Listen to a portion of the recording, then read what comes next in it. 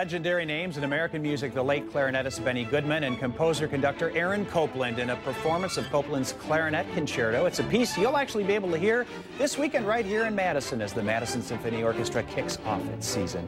Joining me now is MSO principal clarinetist Joseph Morris. You're going to be the featured soloist in that piece this weekend. It's great to have you here. So tell us about this uh, Copland Clarinet Concerto. What makes it tough for you as a performer and interesting for audiences? It's one of my favorite pieces. Um, and it's something that I've gotten to study since I was in high school, actually. Uh, and this is the first time I've ever gotten to play it with an orchestra, so I'm very excited.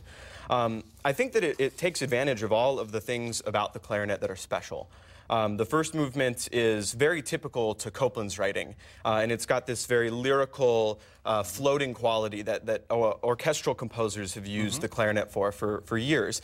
And then it sort of morphs slowly into what was clearly a piece written for Benny Goodman, and you get those jazz elements, and you get the more raucous clarinet sound yeah. added in. And so I think it's the best of every possible world, really. And it's interesting because Benny Goodman commissioned this work. Right. Right. So what does it mean for you, a clarinetist, to, to play a piece that he commissioned and performed. I mean, Benny Goodman. Uh, right. I mean, obviously, yeah. He, it, it's it's cool to be part of the same legacy that that he was. I mean, nobody who plays the clarinet, you know, doesn't come across Benny Goodman and, yeah. and his playing.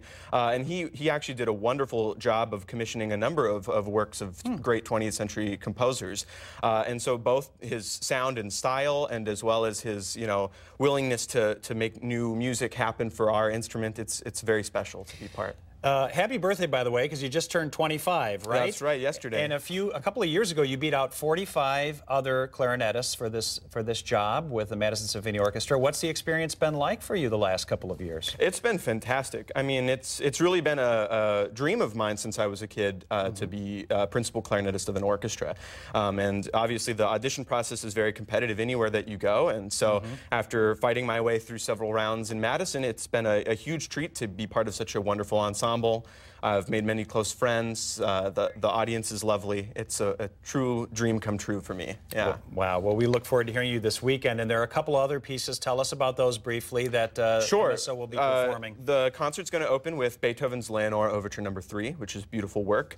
Uh, and it's going to close. Actually, I'm going to perform again in the mm -hmm. final piece of the concert on Tchaikovsky's Symphony oh, nice. Number Four, yeah. Uh, which is a very epic Russian you know, kind of fate motif symphony I think is going to be very exciting. Fantastic. Well, we're going to have you play us out to break, but first we want to let people know that tickets are available. You see the information there. The performances are Friday, 7.30, Saturday at 8, Sunday at 2.30. For tickets, go to newslinks at nbc15.com. Joseph Morris, thank you so much. Go ahead and play us out to break. Okay. Great to have you here.